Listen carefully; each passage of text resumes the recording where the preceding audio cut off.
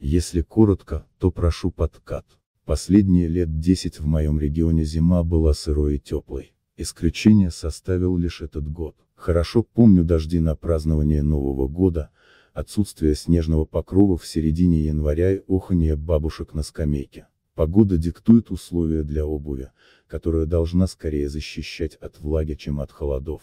Пробежавшись по оффлайн магазинам я не увидел ничего интересного в ценовом диапазоне до 2000 рублей, поэтому решил попробовать счастье на Али. А тут и распродажа 11, 11 на носу, требования к обуви у меня были такие, средняя высота что-то между кроссовками и берцами, непромокаемый материал, никакой замши или мембраны, только гладкая кожа или резина, симпатичный тактический внешний вид и акцент на удобство, а не на вездеходность. Отсутствие меха внутри, цена около 2000 рублей. Критерий поиска довольно жесткие. С ценой все довольно понятно, так как за 3 плюс 1000 можно уже возвращаться в офлайн. Да и в случае ошибки с размером или другого форс-мажора жаба пообещала не сильно расстраиваться. А вот с искусственным мехом внутри вышла засада, почти все, что выставлено в офлайн магазинах в категории демисезонные ботинки, набито мехом.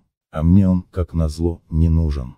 И на Али меха тоже оказалось полно. Ценники тоже почему-то не радовали. В итоге мне подходили ботинки фирмы Бона, но они как-то совсем уныло выглядели. Также неплохо смотрелись тактические берцы с маленьким оттиском автомата сбоку, но они были высоковаты. В итоге остановился на этих. Подробные характеристики, покупка, доставка и размерная сетка. Продавец в описании указал берите свой размер, но чуть дальше он советует добавить к длине стопы цифру от 0 до 15 сантиметров. А это три размера. Поэтому на свою ступню 263 мм я взял размер 270 мм. Оказались чуточку великоваты, но 265 скорее всего были бы малы. Если одевать ботинки на тонкий летний носок, то великоватость чувствуется довольно отчетливо, а вот с более толстым носком все в порядке. Покупка проходила по процедуре предзаказа. Я накидал много обуви в корзину во время поисков и некоторые продавцы прислали мне купоны на доллар. Тогда еще я тешил себя надеждой, что с помощью купонов Али 11, 11 можно будет скинуть что-нибудь с основной цены. Как оказалось позже, даже в правилах распродажи было сказано, что купоны можно применять только на оплату предзаказа. Поэтому я скинул доллар купоном продавца во время предзаказа, заплатив ему 2 доллара вместо 3 доллара, и 11, 11 доплатил остаток 27 долларов. Продавец отправил товар довольно шустро, через пару недель товар доставил курьер сдек прямо в руки. Это был маленький и мягкий пакет, даже не верилось, что туда можно уместить пару ботинок. Но внутри оказались именно они, надежно обмотанные пупыркой. Китайской газеты внутри ботинок не было, запаха китайского клея тоже. Новые выглядели так, впечатление от носки в свободном порядке. Ботинки носил с даты получения, примерно 5 дней в неделю, в сумме около 3 месяцев. Не 7 дней в основном потому, что в магазин все же удобнее выскочить в других, с молнией на боку, ничего не развалилось, не отклеилось, не оторвалось, не протерлось и так далее. Первое и самое неожиданное, в ботинках напрочь отсутствует каблук. Что еще удивительнее, так это то, что в описании продавца это указано. Ощущения при ходьбе в первые несколько прогулок немного необычные, но потом привыкаешь и как-то не обращаешь внимания. Между вашей пяточкой и ледяным асфальтом будет всего около 5 мм резины, и она совсем не жесткая. Чуть позже я все же решил подыскать себе так называемый подпятник, дабы повысить как удовольствие от прогулок, так и свой рост. Ссылка на товар, AliExpress. Com item, skstpet, 32 миллиарда 839 миллионов 243 тысячи 876. HTML.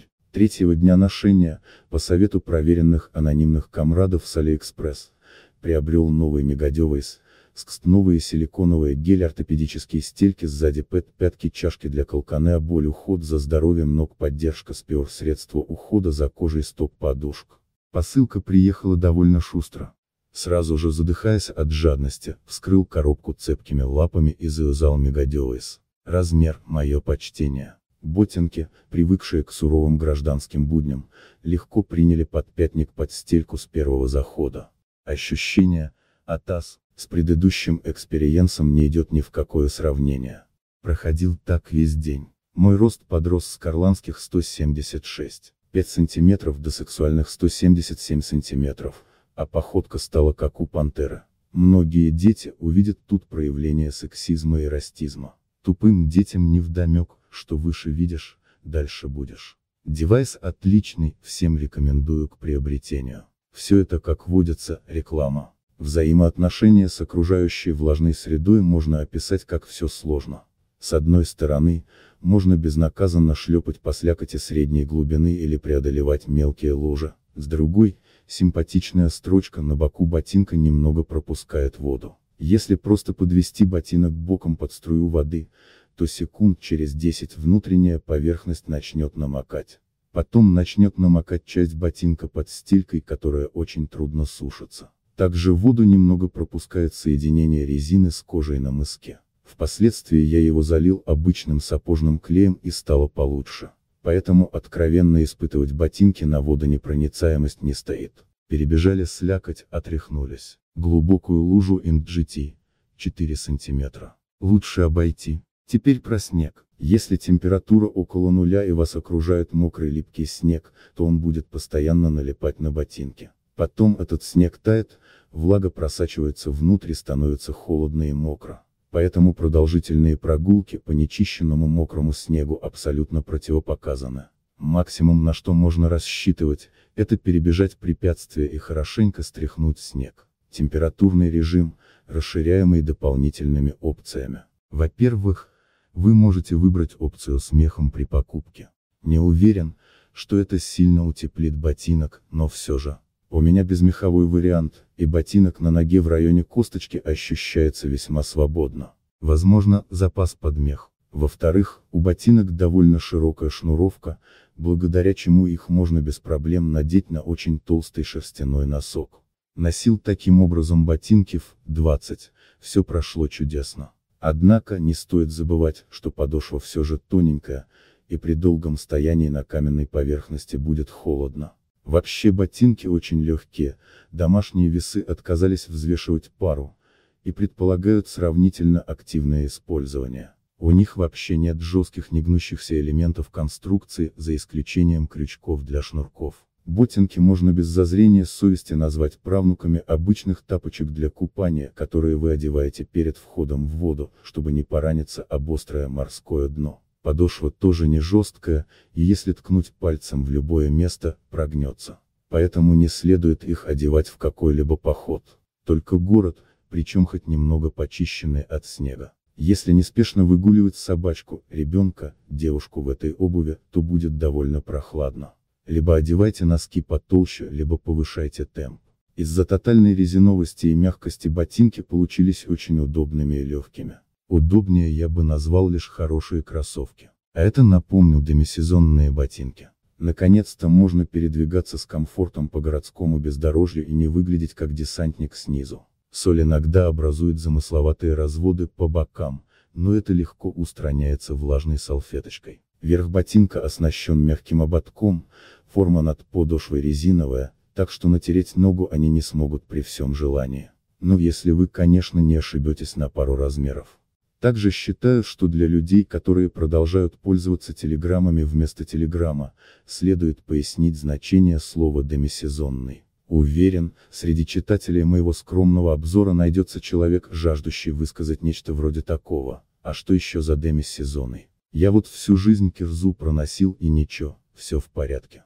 Только портянки надо почаще менять, хотя бы раз в месяц. Да и слово то какое-то годливое, неправославное. Поясняю, что демисезон это переходное и неопределенное время года между летом и зимой, когда не жарко и не холодно. Также верно и обратное, между зимой и летом тоже демисезон. Если же вы хорошо переносите холода, либо ваши зимы сравнительно мягкие, то демисезонные вещи можно носить и зимой. Подытоживая вышесказанное, за цену в 29 долларов это вполне достойная пара обуви. Сейчас они стоят 50 долларов, и за эту цену можно найти куда более интересный вариант в офлайне. Пожалуйста не забудьте поставить лайк и написать комментарий.